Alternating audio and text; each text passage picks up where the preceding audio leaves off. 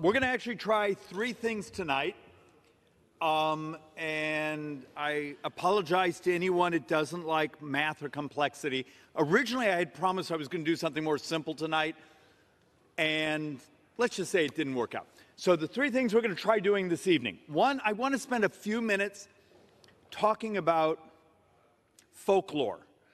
Um, the things we get as members of Congress, and this is both for the folks on the left and the right, you know, the comments we get, people, things people believe, and I want to walk through a little bit of that. I want to do sort of an update status on what's happening financially. And then I'm going to broach a subject that's really uncomfortable, and that's going to be talking about sort of the future.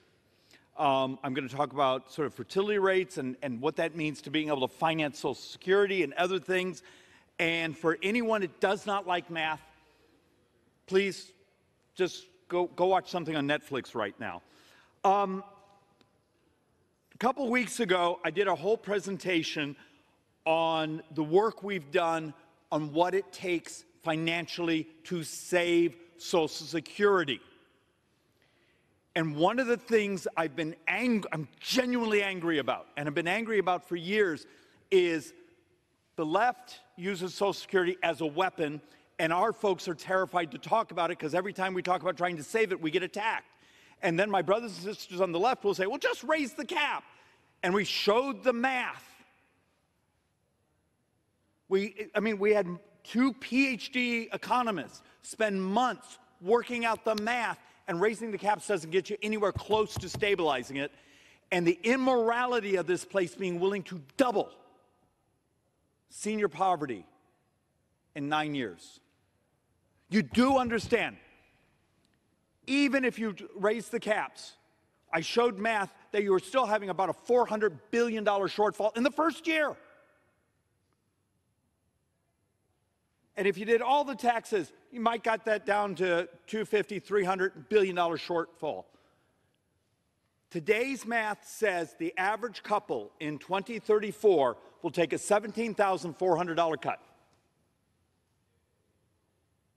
We will double senior poverty. Is that a Republican or Democrat perversity? I'll just argue it's a moral one. Why can't we actually work on the math? Yet, when I chaired the Social Security subcommittee, every time I tried to do a room full of actuaries and those things, my brothers and sisters on the left found more joy in the politics because it's a powerful issue. And absolutely immoral what we're doing. We, there's this concept of a white, a black swan. That's something that sneaks up on you and blows you up. There's this concept of a white swan. You see it coming and you don't do anything. We have the actuary reports in front of us. I know this is a math free zone. So, one of the first things I want to walk through is a concept of when I did the speech a couple weeks ago, it's had a couple hundred thousand views on YouTube. God bless, yay. And then you read through the comments, and, and those of us in Congress know about half of our comments are bots. A lot of them are Russian bots, which is hysterical. But you read through some of them, they stole my Social Security money. Okay, let's do a math and sort of walk through, because this is really important to understand. The Social Security Trust Fund built up, built up, built up, particularly when the baby boomers, because there was a population bubble that actually built up those tax receipts, had three, four trillion dollars in it. Now that's rolled over. No one stole the money. What happened was you don't just let the cash sit there. So the cash was actually loaned to the Treasury, and the Treasury gives a T bill, a, a type of Treasury bond. Just like if you walked into your bank and said, I want a US T bill. Same thing. And twice a year, we pay, the Treasury pays interest. The problem right now, when you hear many of us get behind these microphones and talk about the Social Security Trust Fund getting emptied, is the amount of tax receipts that come in your FICA tax every month don't cover all the checks that are going out. So every month they have to take a little bit of one of their T bills, their tre- treasury bills, and hand it to the treasury and say, We need some cash. We need some cash give us some cash so we can make this month's Social Security payments. But every time they do that, they use up a little bit of that savings account. And that's that savings account, the trust fund, that is emptied in 2033 or 2034. The Social Security Trust Fund, just like the Transportation Trust Fund, just like the Airline Trust Fund, uh, all the trust funds that are borrowed from, they're paid interest. Um, I'm, I'm going to get this wrong, because, but I think actually last month, because you um, Treasury pays interest twice a year to the Social Security Trust Fund. I think last month may have been um, 30 billion, 40 billion. The, the, the mean interest rate is right, it's a little, it's right about market. So for everyone, if you say, they stole my money, it's there. The average couple, the average will get about a $70,000, $72,000 spiff. So the money they pay into Social Security over their lifetime, the average will get about 70, 72,000. Now understand, that's a crap rate of return. You would, if you had been able 20 years ago when it was being discussed, been able to take a little sliver of that money and put it in the market, you would have had a ginormous, I love that word, um, larger rate of return. Um, politics of that became toxic. There were lots of campaigns saying, you're trying to privatize. Okay, that world is gone. It's Medicare that actually has the huge problem of for every dollar you put in, you get almost $5 back. Social Security, you get pretty much the money you put in, crappy rate of return, but you get that back. That's the first folklore I wanted to go over. Number two, um, you saw in the comments, why aren't there people there? If this room was full as I'm giving this presentation, we got a problem. Because when you're sitting in this room, this is for voting. This is for debating. This is not necessarily where you do your work. You do your work in your meetings and your subcommittees and your primary committees. So when you see the room empty, this is how it's supposed to be. Now, when you have someone behind them, you know, idiot like me behind one of these mics, you're probably on a thousand televisions. So a lot of these presentations I do, I'm as much here to talk to staff and try to educate them on what's going on in the math. So that's actually one of the things you look for. Uh, another one, um, I just I want to say, uh, I, I have this neighbor, wonderful guy, loves screwing with me.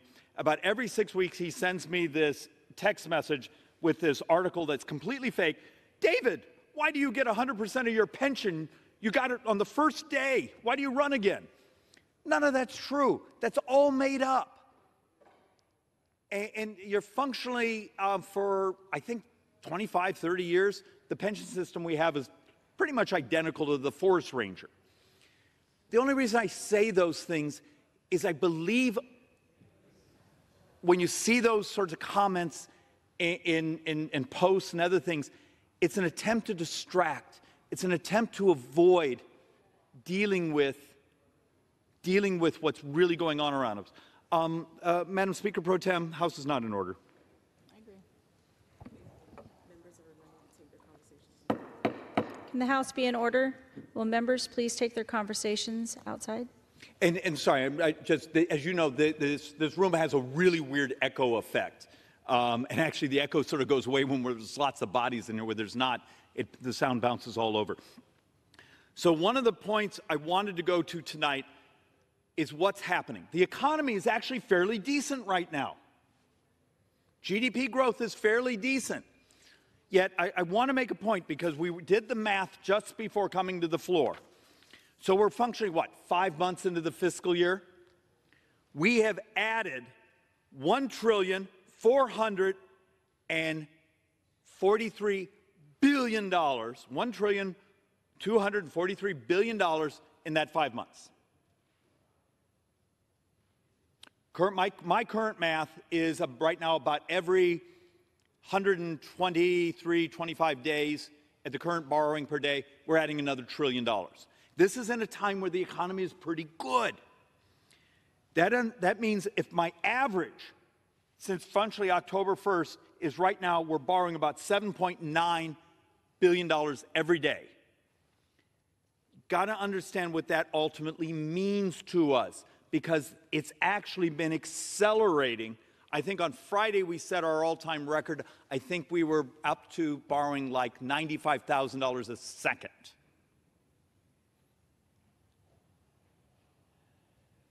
Almost 100% of that growth is interest, and you're going to see this over and over in the charts interest in healthcare costs. It's Medicare. It's things that we're not allowed to talk about. They're on autopilot. And if it continues, look, my math says we're heading towards about a 2.6, 2.7 trillion dollar borrow this year in a year where the economy is doing fairly well. But if the current math is today's math held up, you do realize you're broaching 3 trillion. Now, I, am hoping we're going to have a, a really good April tax receipts. But that means right now, if you take where we're at and average it from the first day of this fiscal year for the five months, we're right now, our math is 2.9 trillion for this year. Borrow.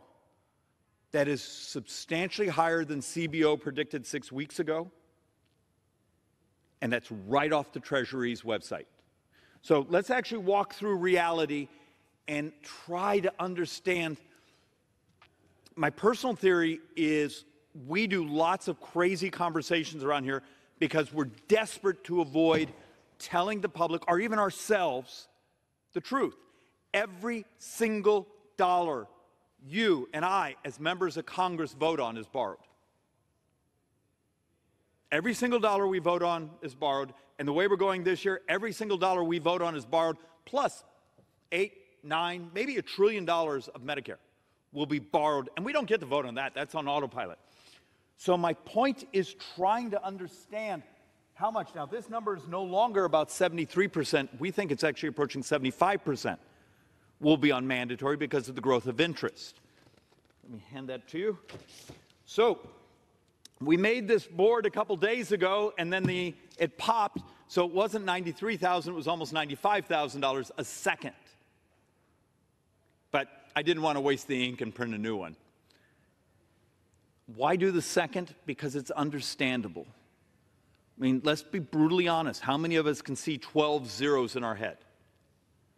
And, and, my fear is that is one of my great sins in trying to communicate my stress about this is I'm here saying, it's a trillion dollars. No one knows what the hell a trillion dollars is.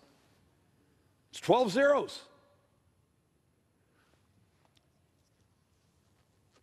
But when every second we every second we borrow more substantially more than the average wage of Americans, maybe that hits home. So let's actually sort of walk through what's going on. And then my sarcasm here is going to be my anger at myself, my brothers and sisters here, particularly on the left, but also on the right. We've been debating and fighting over things that don't even qualify as a day's borrowing. We bring this place to its knees. We remove a speaker. We do this and that. And then you realize the amount of dollars being fought over only equal a couple days worth of borrowing. But darn it, it got us on television. I got to raise some money on the internet. And it's that type of false profit that I will argue is our demise because if I can get you to fixate on the shiny objects, you're never going to be willing to absorb the truth on how ugly these numbers are. So, this is where we're heading towards right now for 2024. Social Security will be our number one spend. Looks like um, it's, it's, it's baseline, though it looks like it's ticking up. We're actually seeing something interesting where a number of retirees asking for benefits is actually ticking a little faster than we expected. But $1 trillion, $450 billion. So $1 trillion, $450 billion, number one spend Social Security. Interest, both gross and potentially net, but gross interest now is our second biggest spend. And I just had to redo the math because our math right now looks like for 2024, we're going to cross $1.1 trillion of just interest. Just interest this year.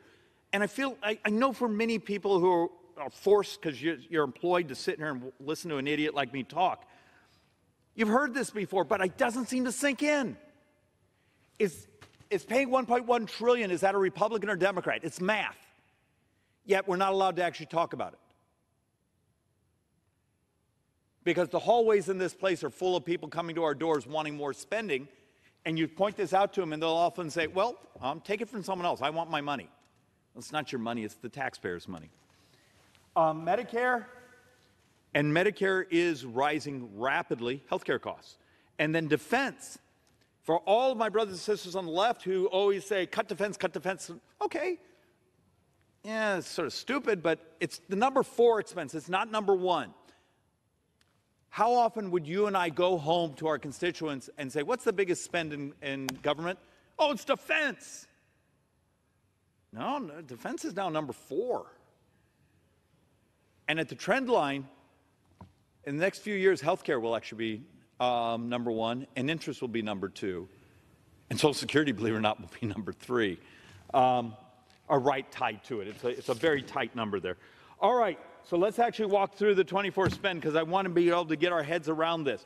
Social Security, and this was a fascinating number, and we've been trying to also average in what the new appropriations bills. Remember, we're just now finishing up our 2024, so we're only five months late.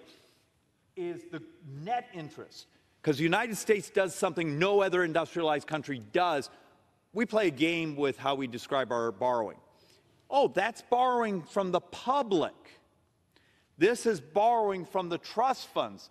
So if anyone's listening right now and you, you question this, go on, uh, what is it, the OECD. Go in and Google right now, or your favorite search engine, what is the debt to GDP of the United States according to OECD. And you're going to get a number, it's like 144%, because they don't let the scam artists say, well, you borrowed it from yourself, but you still have to pay it back, and you're going to have to actually borrow money to pay it back while you're paying interest for it. It's a con. We should never allow discussions in this place and not use the terms gross borrowing, because what? Is it magic money? We don't have to pay it back? It's just money we didn't have to go float publicly traded bonds, but we still have to pay it back. And the reason I built this chart is I wanted you to see a line right here. Even the net interest, so the publicly borrowed money, the interest we're going to pay on that, is still the second biggest spend in this government.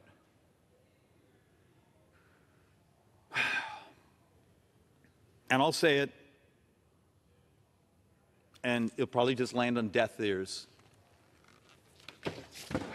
So, let's actually walk through something that's really uncomfortable and it's going to tie in. So, one of my fixations is how do you stabilize borrowing so that borrowing equals what our economic growth is? I'm going to show you some charts here later, and this is for the, the people that actually care about economics. Here's the growth of the country, and here's the debt of the country. If you could ever bring the GDP growth and the debt in line, you've created stability. But we have some crazy headwinds. There's also some crazy opportunities happening ours. There are good things happening out there. Will Congress be the barrier or the adoption of them? Because right now we are the problem um, because we're scared of our own shadows. So if I came to you right now and said, let's come up with a way to stabilize Social Security, let's stabilize Medicare, it's moral. It's our moral obligation. We made a social contract in this society. Okay? We got a problem. Um, and it's all something almost no one here ever talks about. We're not having children. United States fertility rates have collapsed. Um, this number's wrong. It's our, our latest number for last year is not 1.64, it's 1.63. France has a higher fertility rate than the United States. Even when you adjust for their immigration population, they still have a dramatically higher fertility. Most of Western Europe looks like us, and we're worse than a whole bunch of the world. How do you and I set public policy so 25 years from now, Remember, Social Security is substantially a pay as you go system. Today's workers are functionally paying for today's retirees. The trust fund was the shock absorber. Trust fund is disappearing. But my future generation of workers is going to be smaller. And you're already seeing this in school districts all over America where the number of students they have are shrinking. Are we willing to have the really interesting discussion of okay, are there things we could do economically to make it so family formation, so there's more children? Um, there's things we could do to help, but almost every country it's tried has not been able to change fertility rates. There, there's, I think in Hungary, I think I saw something that, you know, third child, they buy you a house, fourth child, you get some sort of like prize, and it's barely ticked up their fertility rates. It's a really difficult question, happening all over the industrialized world. So if you can't really change it, do you actually build public policy to deal with it? Do you st- accept the fact that we're going to have to have a lot more automation? It means capital investment.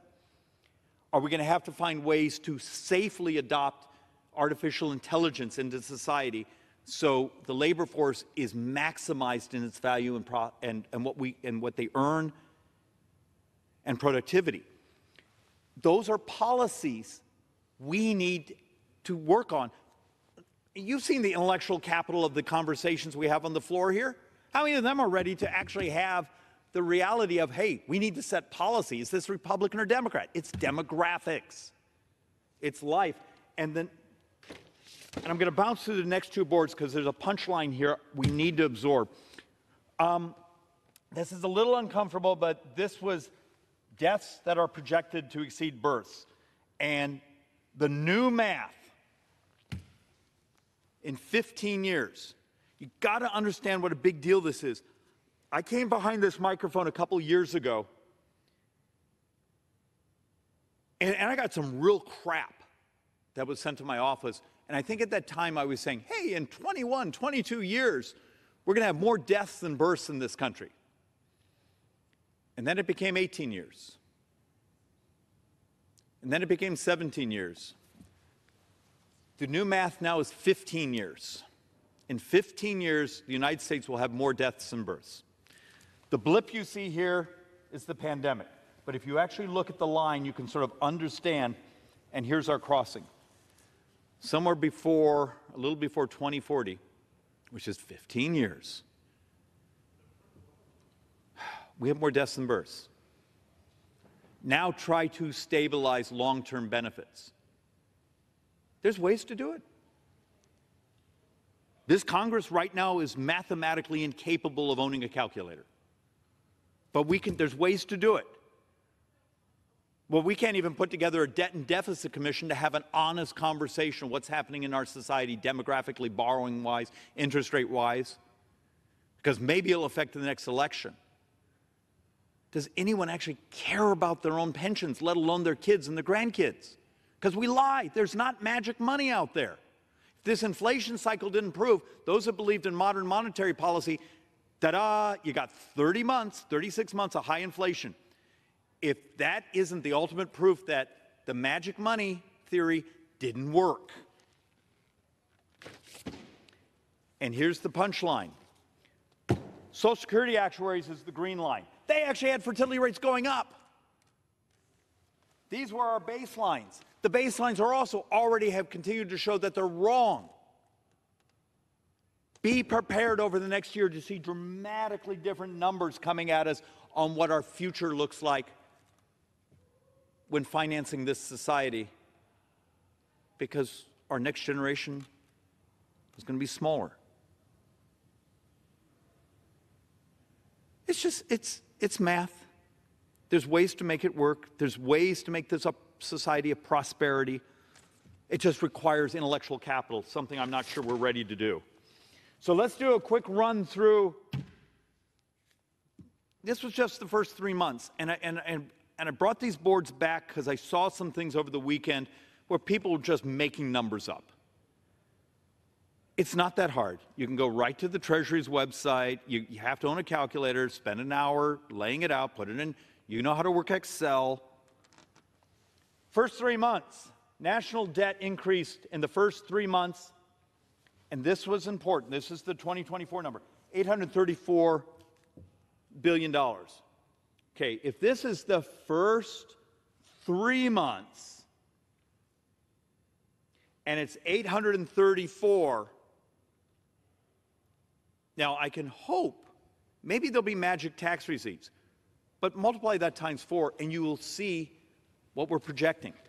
And the part of the punchline is interest continues to grow. And I'm going to show you why some of this is. But in those first three months, we spend 288 billion in interest, and that number is going to keep getting bigger and bigger and bigger because this year it's it's right around, uh, and there's a debate on how much um, uh, because the Treasury announced that they're going to be financing rolling some of the debt shorter on the curve. So um, let's say we had a year where we were going to borrow 2 point, let, let's use a simple number, 2.8 trillion new issuances. But you still have about 7.9 trillion that comes due. It's bonds that have been sold in the past. When they come due, particularly if they were bonds sold three, four, five years ago with very low interest rates, what happens? They're now sold at the newer, higher interest rates. And that's the modeling problem right now. Do you remember one of the first boards I showed you that we expect interest this year to be 1.1 trillion? A lot of that's because the amount of debt it's coming due. It's coming due and we stayed very short on the curve instead of what I begged for a few years ago, saying, "Please go long in the curve. Go long because that way at least you locked it in and if we have what's happening right now because understand because Congress doesn't want to be in charge, because you have a White House here that makes crap up, and I can prove that on, on a bunch of the numbers that they published last year, the bond market now runs this country. Hear my words. First time the bond market gets cranky, first time we have an undersubscribed auction, you watch how fast this place comes in and we capitulate. Doesn't have to happen. But we are, because we've abdicated our jobs, we basically have made a decision. And this happened actually not that long ago. Go ask some people who were involved in the Clinton administration. Go ask Newt Gingrich. Some of the people around when the bond market hiccuped and the debt situation then was dramatically better than today. This Congress stood attention and did what they needed to do to make the bond market happy. Because if you have a failed bond auction, you want to see society have a really bad day. So let's walk a little more through some of these.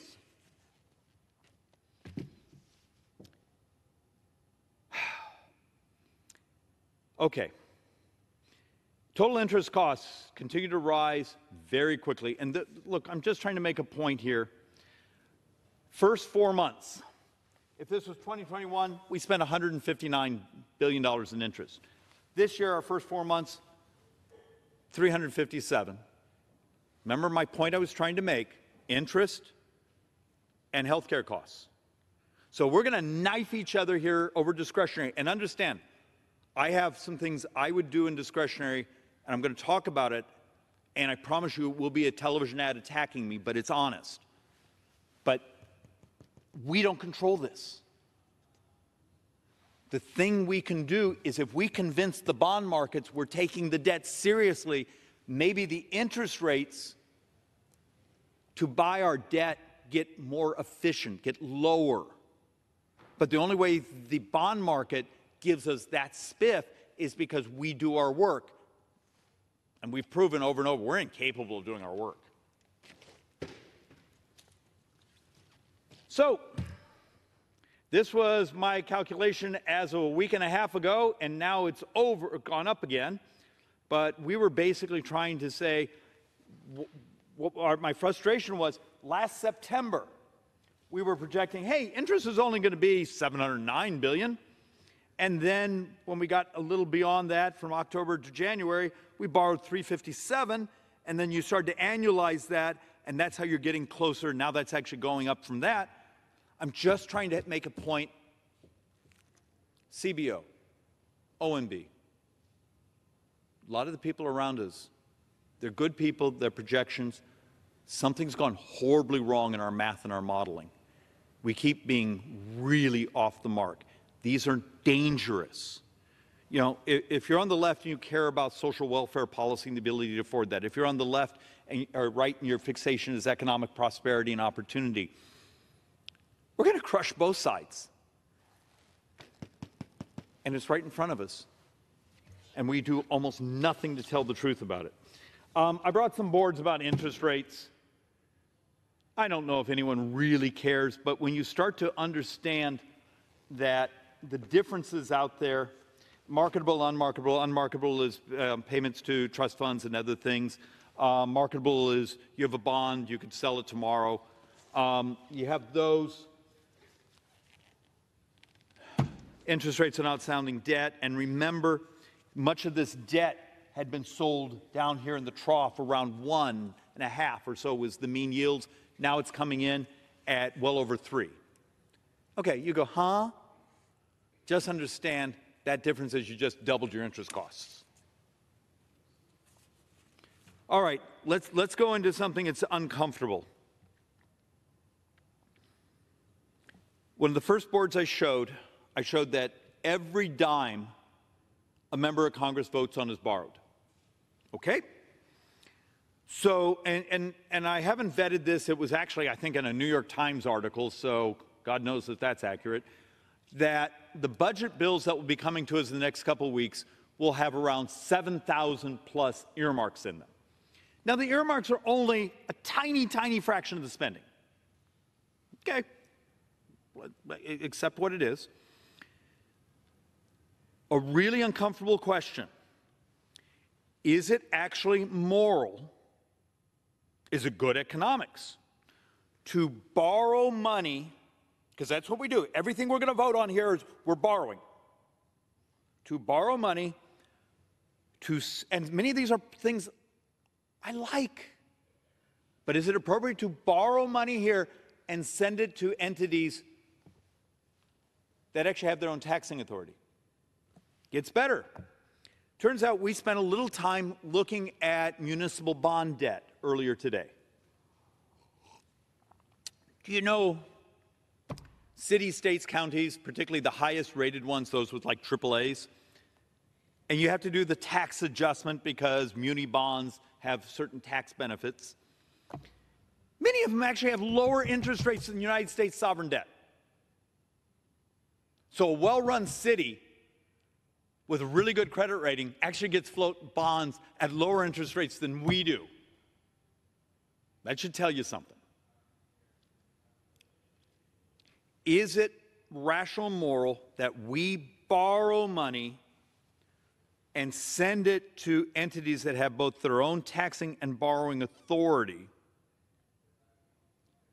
And many of those entities actually can borrow money at equal to or better than what we're paying over here. Of non defense discretionary, about 40% of the money in that non defense discretionary is actually money we're sending to entities that have their own taxing and borrowing authority. Now, we would all probably get unelected the next day because people would lose their mind saying, We thought that was free money. It's free money, except we're borrowing it and paying interest on it. Those are the types of things are we capable of having an honest discussion about it? Of course not. But we could try. Here, can I hand you that? All right. A couple more here, and then I'm going to go back to the office and have more coffee.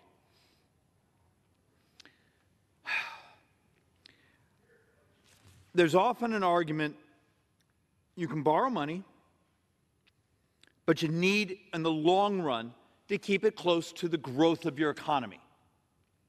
So, how often do you hear people talk about the debt to GDP and the fact the United States now is functionally at 100% of public borrowed, and if you do total gross, you're well over 140% of debt to GDP?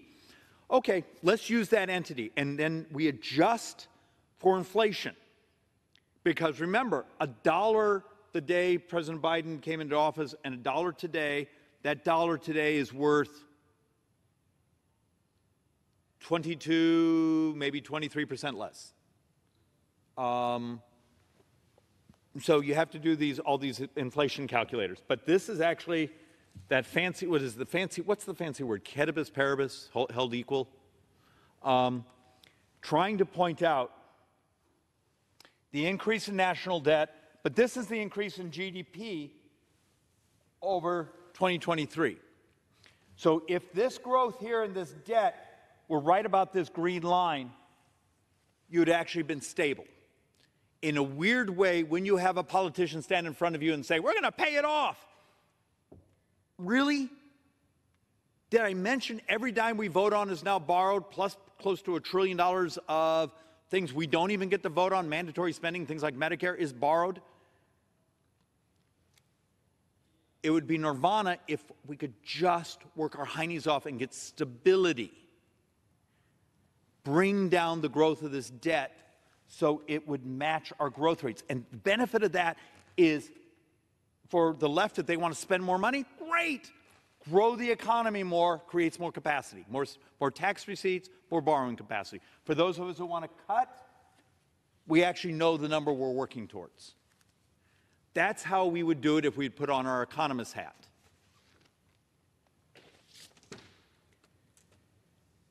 Same concept, just a little bit differently done. Increase in national debt outpaced growth in the economy by more than 1 trillion over the past year. And that's what that bond market's going to be looking at. It's that debt to GDP and when does it hit stress? When does a spike in interest rates? When does a recession? When does a pandemic? When does a war make it so your likelihood to be paid back your interest and your principal? And understand when the United States actually has, and dear God, please don't let it ever happen, that moment of stress, that failed auction, we put the entire world into a depression. The entire world let alone your pension, let alone my kids' future, depends on us getting our act together here. So the last chart, and this one is a little difficult because there's some anomalies in the numbers, but we didn't have time to fix it. So on occasion, we'll go all the way back to um, 2000. Now remember, 2000 had an unusual tax collection year because the year or two before that, there were massive capital gains because of the dot-com bubble. So it, the number is always distorted. Um, but at that year, we collected 20% of GDP in taxes. Okay, long run average has been about 17.8. Um, so let's actually go to 2023. That year, we collected 16.5% of GDP in taxes. We still had some of the legacy of COVID and some other things. But the other part of this chart, I'm trying to show you the hierarchy of spending. You know, Social Security, where Medicare, defense, others, and you start to see the spending up here, when you start seeing that green, well, the green is nothing but interest. And our problem is, even with the projections, which I hope are right, that long run over the next eight years or so, we start getting up close to 18% of the economy in tax receipts. Okay, great the gap continues to still widen. And most of that widening is our projection of the benefits we've promised our brothers and sisters who get older. Our, what is it, 67 million of us who are baby boomers. Our health care benefits, the interest we owe, and then back to the point earlier. What do these numbers look like in 2033, 2034 when the Social Security Trust Fund is empty. Will the policy be we're going to raise taxes? Okay, except I've already done the presentation multiple times on the floor where I brought in the economic data from both liberal groups and other groups that showed even tax maximization. This is the punchline, please understand. The tax maximization when you do the economic effects, you get about a point and a half of GDP. So you take people $400,000 and tax maximize everything for them. Tax maximize their income tax, their capital gains tax, their estate tax. You just do it all. You get about a point and a half of GDP. Yay! And then over here, for those of us who want to cut things, You take everything that's been discussed in discretionary, the debate we've had in this place for the last several months, and it's a fraction of a fraction of a percent. It's, it's, it's not even a rounding error. So you'd have to change programs, change spending, adopt technology, make people healthier. Understand, the single biggest thing you could do to bring down borrowing over the next decade, take on things like diabetes. 33% of all healthcare spending. And it would be moral, and is that Republican or Democrat? It's just the right thing to do. How many brilliant discussions have you seen behind these microphones of saying we're actually looking for real solutions? No, we're too busy knifing each other.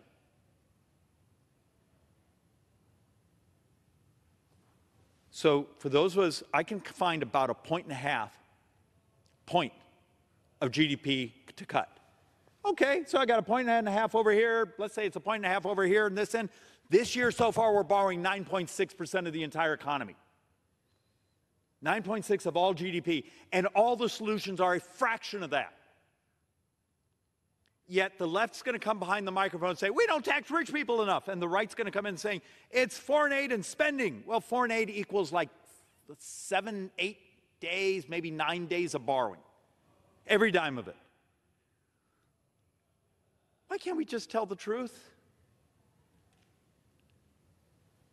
Madam Speaker Pro Tem, every dime of borrowing from today through the next 30 years is demographics. And maybe telling the truth gets me unelected, but damn it, it's worth telling the truth. It's demographics. It's interest on what's been borrowed and what's to be borrowed. It's health care, particularly Medicare. And if eight, nine years from now, when the Social Security Trust Fund is emptied, and remember, the math is the very first year of the shortfall is $616 billion. How do we backfill that? If you try to backfill through taxes, fine. Uh, you got to accept the economic effects of how much you just slowed down the economy and how you slowed down other tax receipts. Do you do it through borrowing? Well, then it explodes. And that's how you see some projections that 30 years from now, U.S. sovereign debt will be $130 trillion. And between now and then, how many people around the world, how many people in this country are going to be willing to buy our debt?